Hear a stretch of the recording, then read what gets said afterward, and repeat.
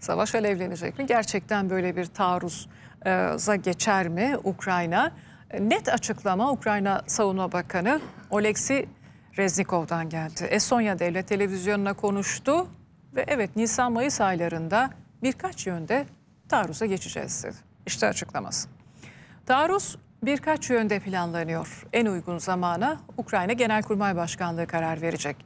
Taarruzun başlaması hava koşullarına da bağlı. İlkbaharda bizde zemin çok nemli oluyor. Sadece paletli araçlar kullanılabiliyor.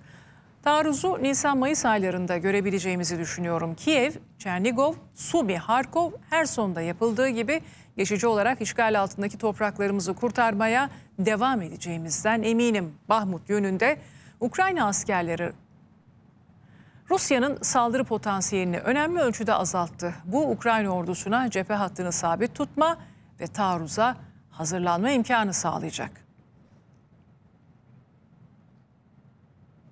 Putin ise Batı'nın ek silah mühimmat ve son olarak Patriot'la NASAMS hava savunma sistemleriyle taarruz tankları desteği verdiği Ukrayna'nın taarruza geçme olasılığına hatta bunu net olarak açıklamasına nükleer kıyamet resti çekti.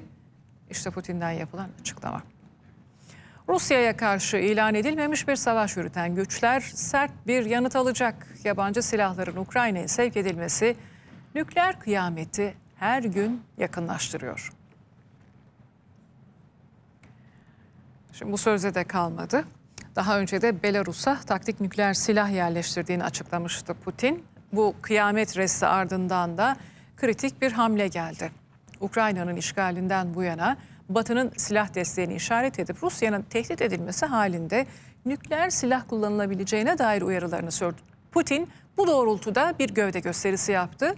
ABD ile olan yeni stratejik silahların azaltılması anlaşmasını askıya almasının ardından kıtalar arası balistik füze denemesi gerçekleştirdi. Buna göre Rusya'nın Astrahan eyaletindeki Kasputin Yar atış sahasından ateşlenen kıtalar arası balistik füze 4000 kilometre ötede Kazakistan'da bulunan Sarışagan eğitim sahasındaki hedefi tam isabetle vurdu.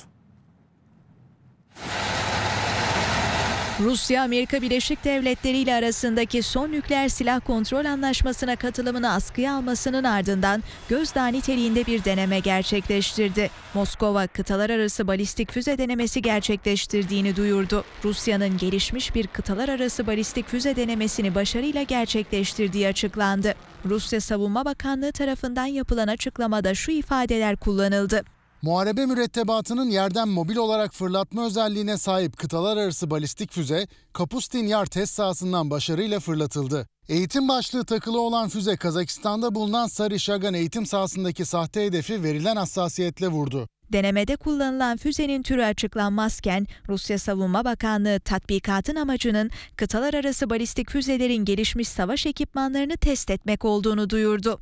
Açıklamada bu fırlatma yeni stratejik füze sistemlerinin geliştirilmesinde kullanılan devre tasarımının ve teknik çözümlerin uygunluğunu teyit etmeyi mümkün kıldı denildi. Öte yandan Rusya yeni bir kıtalar arası balistik füze türünü de konuşlandırmaya hazırlanıyor. Putin, Sarmat füzesinin yıl sonunda hazır olacağını duyurmuştu. Batılı analistler tarafından Şeytan 2 olarak adlandırılan Sarmat, birden fazla nükleer başlık taşıma kapasitesine sahip ve Putin'in yenilmez olarak tanımladığı Rusya'nın yeni nesil füzeleri arasında yer alıyor. Amerika Birleşik Devletleri ise söz konusu füzenin yakın zamanda yapılan bir teste başarısız olduğunu açıklamıştı. Ukrayna Savaşı'nda Batı'nın silah desteğine öfkelenen Rusya, daha önce Sarmat'la İngiltere'nin hedef alındığı bir animasyon yayınlamıştı. Rus devlet televizyonunda yayınlanan animasyonla bir Sarmat İngiltere'yi haritadan silmeye yeter tehdidi savrulmuştu. Buna karşılık İngiliz medyası da lazer silahlarımız Putin'in hipersonik füzelerini saniyeler içinde yok edebilir yanıtını vermişti. Putin, Şubat ayı sonunda Rusya ve Amerika Birleşik Devletleri'nin nükleer stokları sınırlamasını ve karşılıklı denetime tabi tutmasını düzenleyen yeni stratejik silahların azaltılması anlaşmasına katılımı askıya aldığını açıklamıştı. Putin ayrıca komşu ve müttefik ülke Belarus'a taktik nükleer silahlar yerleştireceğini ilan etmişti. Rusya'nın her iki adımı da NATO tarafından kınanmıştı.